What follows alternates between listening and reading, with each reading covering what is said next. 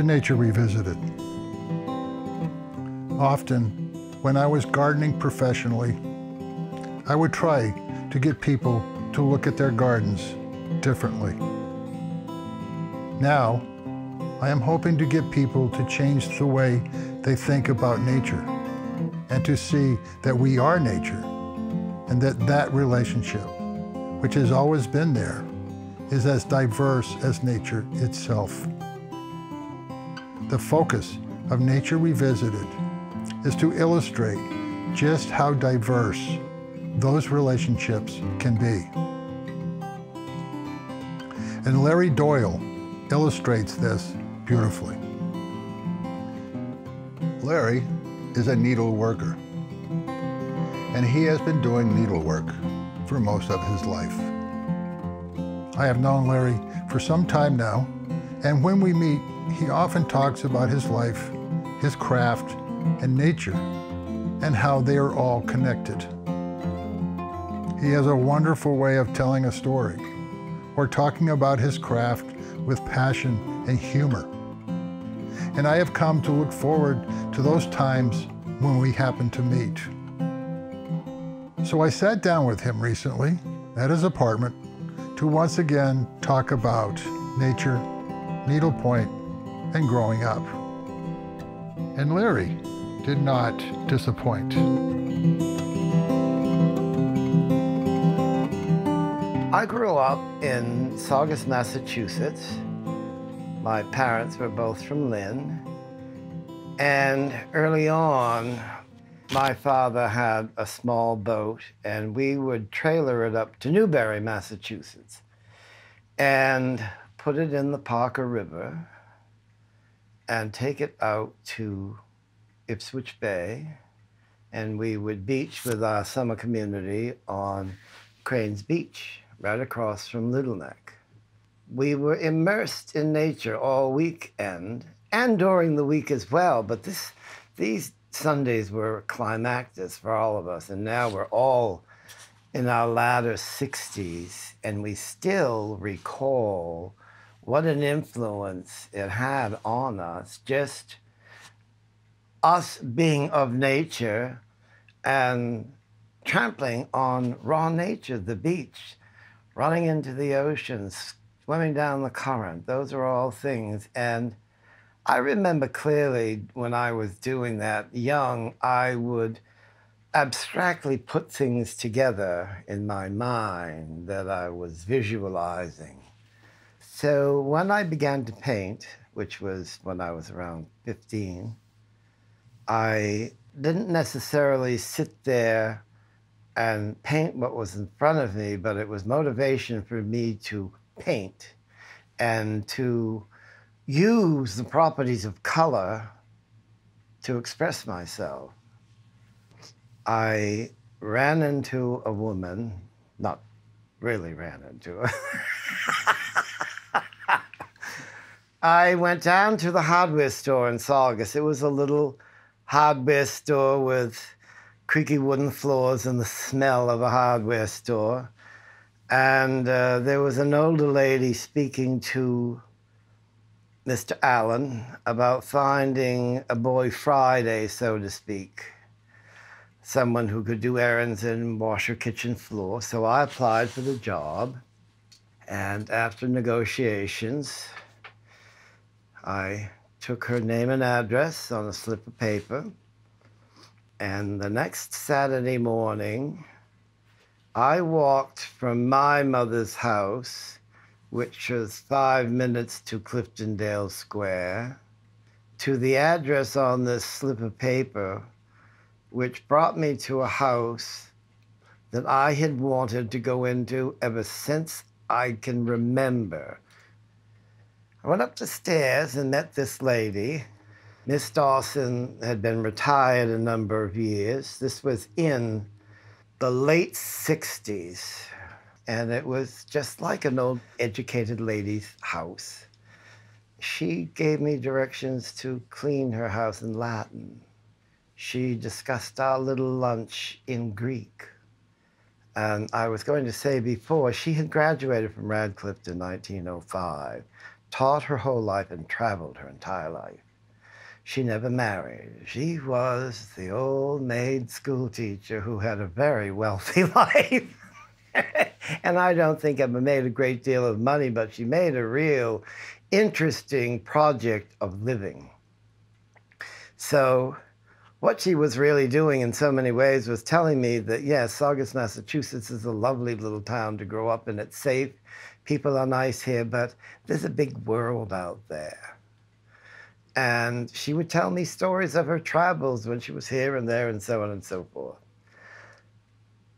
One Saturday, when I finished with her, I went downstairs to meet the owner of this wonderful house, whose name was Anstress Kellogg.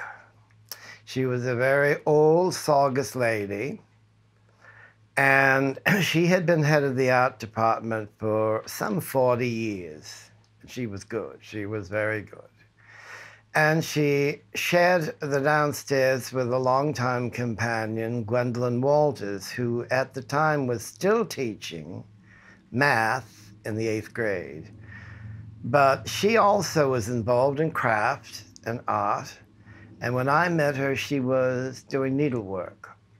And Anstress was doing all sorts of other things. I applied for a job to help her maintain her gardens. I was hired, and we developed an instant, intimate relationship with one another. And she became true mentor to me. And she really taught me about art and how to look at it and how to sense it and how to produce from your mind. And in no time, I had a paintbrush in my hand I'd do her lawn and such, and she might say to me, Why don't you go get your paint box and have a lunch? I'll pick you up and we'll go down to Essex and paint the marshes. And we would do just that. We would go down and we would set up our equipment together, and she would advise me on doing this and doing that. And I would be behind her and watch her paint, and she would be in front of me, and we we would talk about the day and talk about how the tide was coming in or when it last went out or what were those birds nesting up in there. And then suddenly they might be on our canvas. We don't know because it's a spontaneous thing that happens. And we continued to build this relationship, and I, I'm very aware of when I began to appreciate what she was not telling me, but showing me in reality how we deeply depend on and deeply relate to nature and how important it is for us as natural human beings to always identify with it and to be with it. And I treasure all of those past memories. They're all, to me, to be vital and have worked for me. I mean, my life, as far as I'm concerned, is, is comfortable the way I wanted it. and I was with Mrs. Kellogg one evening. They were going to give me keys to the house for the weekend. They were going to the New York World's Fair, and I was going to oversee the house while they were gone. I was 16 years old, I think. And uh, the telephone rang. Mrs. Kellogg went to answer it. Miss Walters was working on a piece of Bargello, which is a form of needlepoint. And I just turned my head and watched. And she got up and came over and handed me this piece and said, Why don't you just try it? I took these components to needlepoint, and they felt like they had been in my hands before. It was really deja vu and I picked it up then, and needlepoint is a constant companion of mine, whether I'm stitching it, whether I'm at an exhibit to look at it, if I'm in somebody's home and I watch them or experience them, it's really, I think, part of my DNA. Oh, and I should step back a moment. When I began, just began to do needlework, I made a promise to myself that I would become so familiar with this skill that I could simply take a blank canvas and stitch composition that was gratifying for me and had meaning from my inner soul. And all of those things and sensations are all things that come from nature. And they manifest themselves differently in everyone. And then to see them kind of line up with one another and then intertwine and embrace is to me the crux of human intimacy. And it all comes from nature. Running on the beach, swinging on an oak tree, poking your friend in the nose. and my family was also very encouraging with all of us. I'm one of six with one of us. And my mother would often say, well, it all goes back to basics. Start with nature. Before we go into what a little bit of the history at Needlepoint, talk just a little bit about how Needlepoint is influenced by nature. The preparation sometimes for something is the connection to it. Yes, it is. There are all kinds of dyes, and this is a lanolin dye that's improved, as I gather. These were made in Switzerland. And there are natural dyes from onion skins and all sorts, various seashells and various things that I've not found in a medium uh, that is as compatible with me as this is. You stitch on a canvas that is really strictly made into squares, which they call a grid, and they come in different sizes 32 holes to an inch. When you get comfortable, I think, with any craft, you learn the skills of the craft, and they are then second nature to you. You can just get up and do them when you relax and you know you have the skills and you can just pick up a needle and do things, it's so satisfying to know that it just transferred from nature. When you think of what you're doing, you're taking shapes from nature, you're taking colors from nature, you're picking up textures that nature is providing with how the sun hits the sand and the water um, and it gives dimension to your work, and suddenly you find yourself doing it.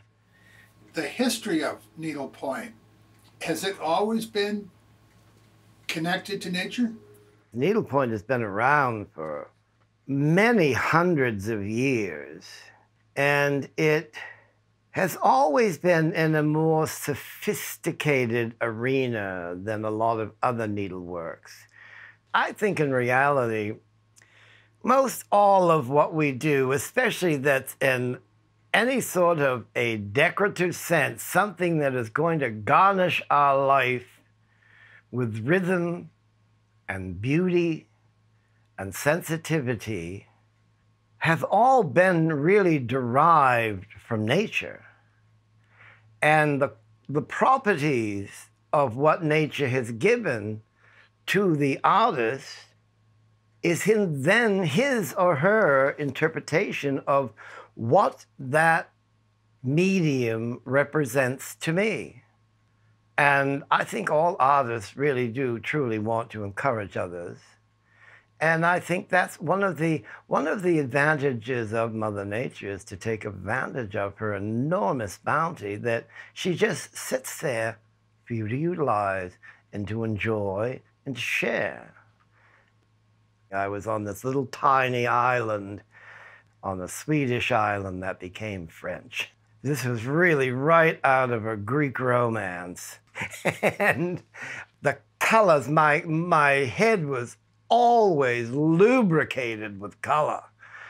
I had a really lovely audience down there.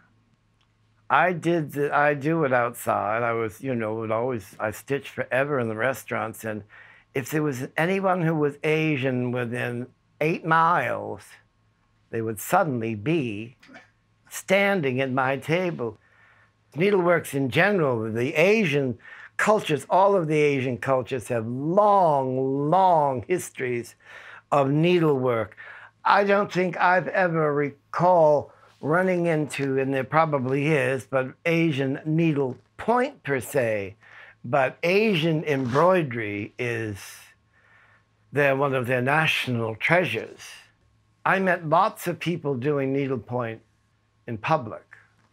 I think it's fun. It's a really, it's a really civilized way to meet people. And I know very well being a man sitting out there doing needlepoint is, you know, an eye catcher, and I don't mind that at all. You know, I'll start the ball rolling.